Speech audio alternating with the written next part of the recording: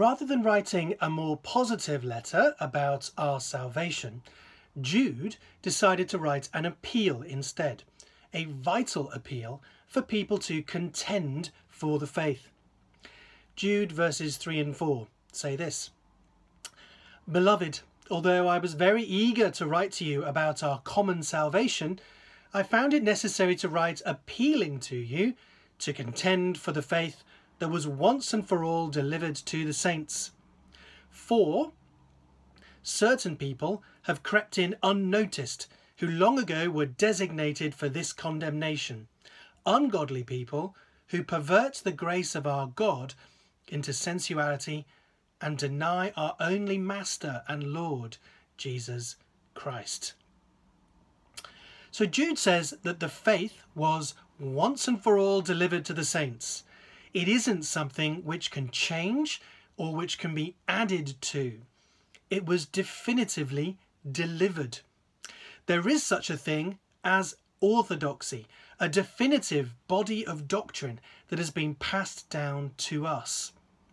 So the false teaching, which Jude outlines a little bit more in the rest of the letter, includes the idea of changing our gospel, our message. Indeed, he says, the false teachers want to pervert grace into a license for immorality and undermine the lordship of Jesus as our master, that is, as the one with rights over how we behave. So contending here is in the context of false teaching.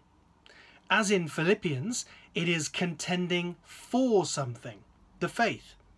It means not changing our doctrine and not changing our moral and ethical applications of it, which certain people would like us to.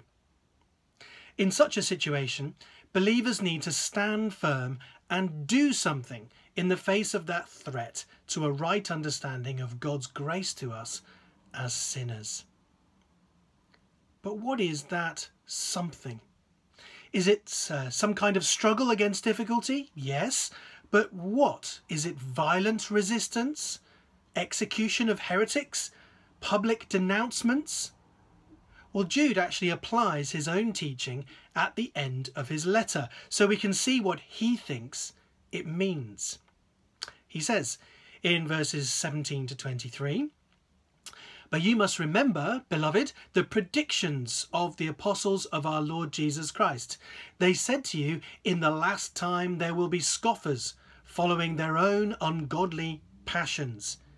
It is these who cause divisions, worldly people, devoid of the Spirit.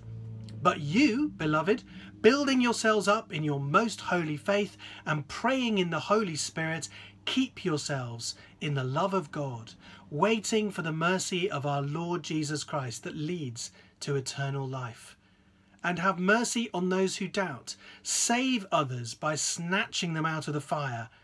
To others show mercy with fear, hating even the garment stained by the flesh. So here, Jude defines ways of contending for the faith, as some worldly people cause divisions. So while some are, as he says, grumblers, malcontents, following their own sinful desires, loud-mouthed boasters showing favouritism to gain advantage, Jude 16, what should we do? Verses 20 to 23 tell us how we are to contend for the faith. Firstly, build yourselves up in our most holy faith. Note that interesting description. It is a holy faith, a truth which leads to godliness.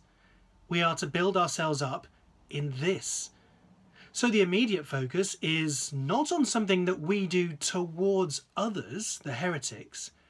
Jude wants us to look to ourselves in this situation and edify one another with the truth. Second, pray in the Holy Spirit we can pray in the Spirit, unlike those that he describes as devoid of the Spirit, see the previous verse, whose prayers are not in accordance with the will of God, the Holy Spirit. But all things we do should be suffused with prayer rather than trusting to our own strategies and strengths. Thirdly, keep ourselves in the love of God. In the sense that God loves those who obey him. If you love me, said Jesus, you will keep my commandments. John chapter 14 verse 15. So keep yourselves in that love and live in a way that is pleasing to God. Again, this is something we must do with respect to ourselves in order to be contending, rather than something focused directly on our opponents as such. We contend for the faith by keeping ourselves in the love of God.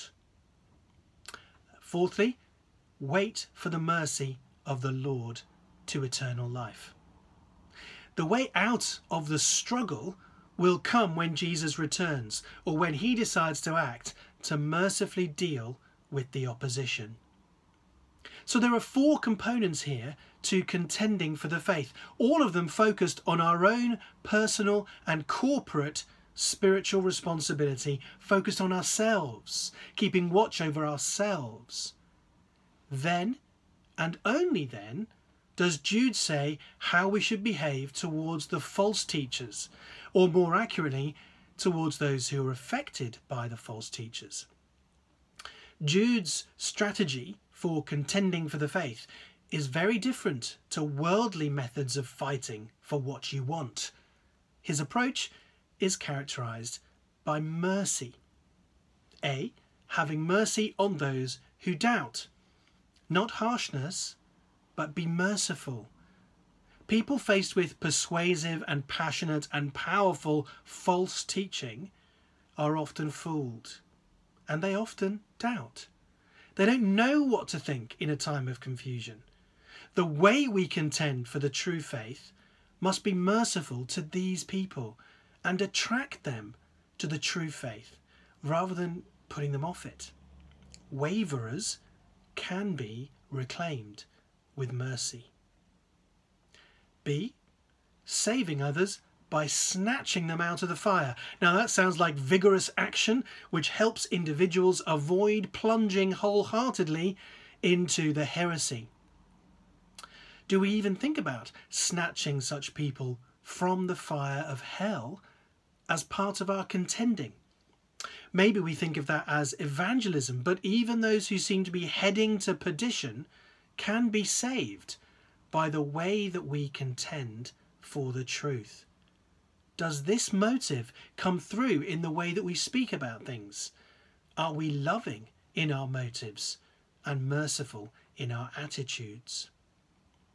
C. Showing mercy with fear to those tainted by the sins promoted by the heretics. Again, we show love and kindness to people caught up in false teaching and living. I think mercy mixed with fear there is about making sure that as we do work with such people, we don't get caught up in sin ourselves, the sort of entangling sin being promoted by the false teachers, which is not easy to escape. We may think that we are clear and sound, but it is too easy if we're focusing on other people's sins all the time, not to notice our own fallenness in the same areas, or to proudly assume that we are immune to temptation and become ensnared. The danger of not contending is great, but contending and then stumbling or falling into sin or error ourselves is also a huge danger. So we need to be looking to God, who can present us blameless, giving glory to Him for all of this, not patting ourselves on the back for being so orthodox and sound and godly. The fall has left none of us entirely straight. We are all bent towards sin. And that means orthodoxy is a gift from God and not a human work in which we can boast. So here's some questions for reflection on today's passage in, in Jude.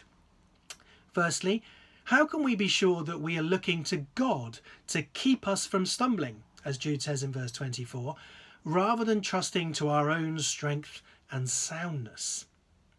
Secondly, how can we build ourselves up in our most holy faith when false teaching invades the church? And thirdly, how can we show mercy to those who doubt without making it look like the Bible is unclear on the doctrines and practices that are under attack from the false teachers?